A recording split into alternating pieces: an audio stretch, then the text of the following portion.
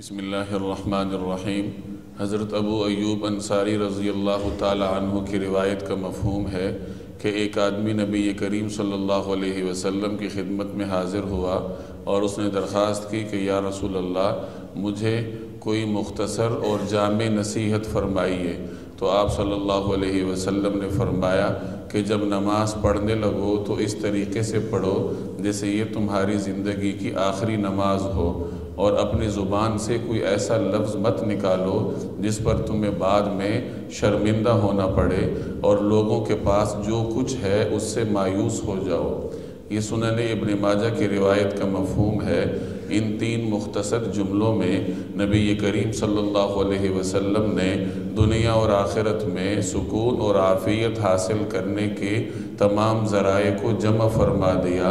चुनाचे इरशाद फरमाया कि जब नमाज़ पढ़ने लगो तो इस तरीके से पढ़ो, जैसे ये तुम्हारी ज़िंदगी की आखिरी नमाज़ है।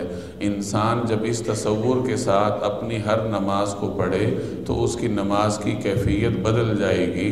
इंसान की मौत का तो पता नहीं, न जाने किस लम्हे इंसान को मौत आ जाए, किस कौन सी नमाज़ इंसान की आखिरी नमाज़ है इसका हमें इलम नहीं है और इलम हो भी नहीं सकता। इसलिए हर नमाज़ को गनीमत समझना चाहिए और इस नुक़ नज़र से पढ़नी चाहिए कि शायद ये हमारी ज़िंदगी की आखिरी नमाज़ हो और न जाने अगली नमाज़ पढ़ने का मौका मिलता है या नहीं मिलता। तो जब इंसान इस तस्वूर से नमाज़ पढ़ेगा तो उसकी नमाज़ की कैफियत बदल जाएगी और इस तरीके से हाजिर दिली के साथ जब वो नमाज़ पढ़े और उसके बाद उसे मौत आ जाए तो यकीनन इस तरीके से नमाज़ पढ़ना उसके जन्नत में दाखिल होने के लिए काफ़ी होगा। दूसरी बात ये इरशाद फरमाई कि ज़ुबान से कोई ऐसा जुमला मत निकालो जिस पर तुम्हें बाद में शर्मिंदा होना पड़े।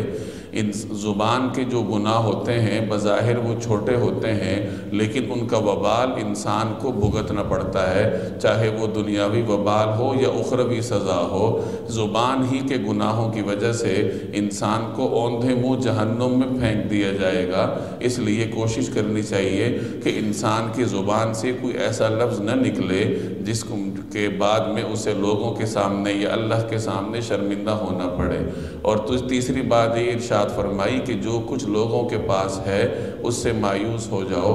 यानी किसी किस्म का लालच और हिर्स अपने दिल में पैदा होने मत दो, क्योंकि लालच और हिर्स इंसान के अंदर दीगर तमाम बुराइयों को पैदा करता है। कि इंसान के दिल में लालच होगा हिर्स होगा तो लोगों से मांगेगा लोगों के माल पे नज़र रखेगा और बहुत सारी बुरी सिफ़ात इंसान के अंदर पैदा होती हैं।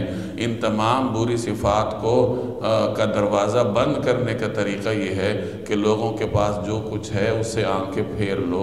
अपने लिए अल्लाह जल्ल जलालू से तलब किया जाए कि या रब्बल आलमीन हमें भी अता फरमाइए लेकिन लोगों के माल पे नज़र न रखी जाए। अल्लाह तबारक व ताली अमल करने की तोफ़ी अता फरमाए।